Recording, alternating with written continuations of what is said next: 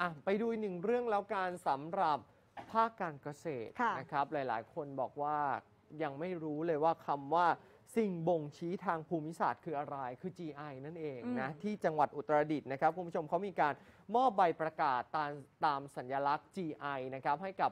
อ่าเกษตรกรผู้ปลูกหลงหลินลับแล หรือค่ะ ว่าจะเป็นทุเรียนลับแลต่างๆนะครับ ให้กับเกษตรกรผู้ปลูกทุเรียนจะเป็นอย่างไรไปติดตามครับ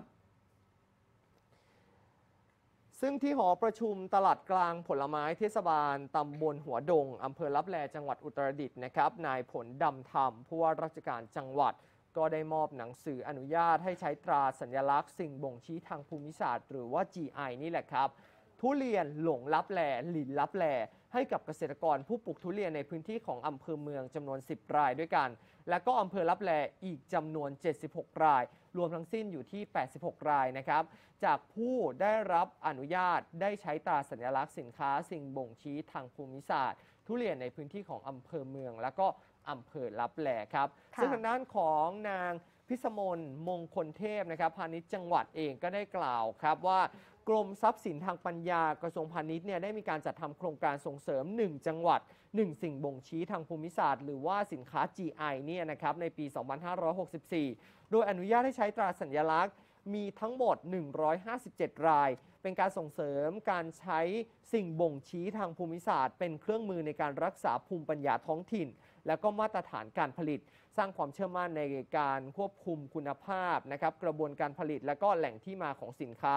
รวมทั้งเป็นการยกระดับสินค้าด้วย ให้มีความเข้มแข็ง มีความสามารถในการแข่งขัน มีศักยภาพที่จะผลักดันให้สินค้า GI ไทย เป็นที่รู้จักในต่างประเทศ และก็เป็นการสร้างมูลค่าให้แก่สินค้าชุมชนได้อย่างยั่งยืนครับ โดยกรมทรัพย์สินทางปัญญาก็ได้ร่วมประชุมหารือกับหน่วยงานภาครัฐ ภาคเอกชนที่เกี่ยวข้อง มีมติส่งเสริม สับปะรดห้วยมุ่นด้วยนะครับ ทุเรียนหลงหลินลับแล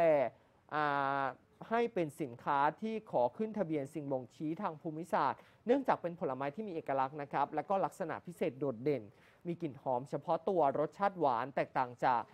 แหล่งพื้นที่ปลูกในพื้นที่อื่น ๆด้วยนะครับ และสำหรับตราสัญลักษณ์สิ่งบ่งชี้ทางภูมิศาสตร์หรือว่า GI ไทยนะคะก็คือ ตราของกรมทรัพย์สินทางปัญญาที่ออกให้แก่ผู้ผลิตสินค้า GI เพื่อที่จะรับรองนะคะว่าเป็นสินค้าที่มาจากแหล่งภูมิศาสตร์ ที่ได้รับการขึ้นทะเบียนไว้ โดยพี่โดยผู้ที่ได้รับออนุญาตเนี่ยให้ใช้ตราดังกล่าวนะคะ ต้องปฏิบัติตามคู่มืออย่างเคร่งครัด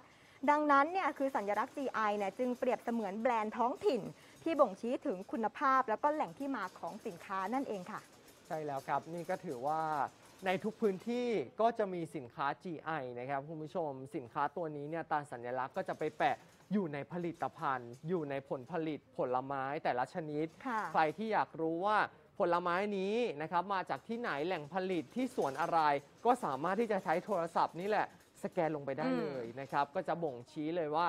ผลิตภัณฑ์ตัวนี้อยู่ในพื้นที่นี้นะครับ เก็บเกี่ยวมาวันที่เท่าไรผลผลิตอะไรยังไง แล้วก็ใช่แล้วมั่นใจค่ะได้ว่านี่คือการสนับสนุนนะครับสินค้าไทยแล้วก็เกษตรกรไทยอย่างแน่นอนครับ เพราะฉะนั้นถ้าเกิดเราเห็นตราสัญลักษณ์ของ GI ที่ไหนสามารถอุดหนุนได้เลย เป็นสินค้าที่ผ่านมาตรฐานแล้วก็เป็นสินค้าที่ช่วยชุมชนด้วย